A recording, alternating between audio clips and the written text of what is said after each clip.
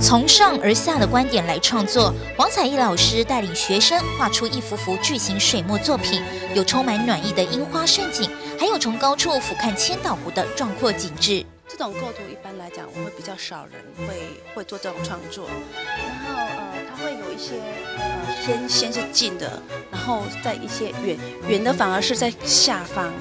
那然后再再增加一些呃烟雾啦、波光粼粼的一些一些景象。哎，这幅画是呃我们台湾少少数民族，就是泰雅族的妇女的风韵啊，它会跟一般传统的水墨会有会有一些不一样，它就会增加很多素描的一些一些笔触在上面。绝望处逢生，这幅在黑白的水墨中绽放出一朵红花，不止看见画工，也发人省思。这幅画是在描述呃。忘忧森林，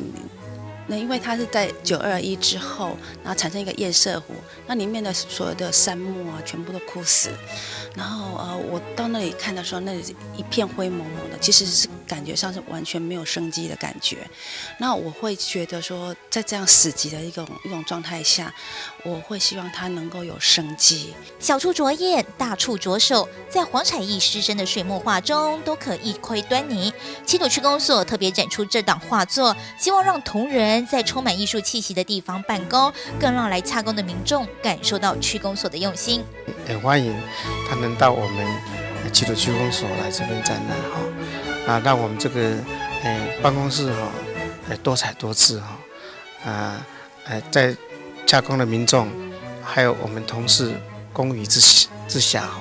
也可以来欣赏这些这么美丽的画作哈，多多到我们区公所，不一定要加工啊，来看看我们黄老师的画作哈。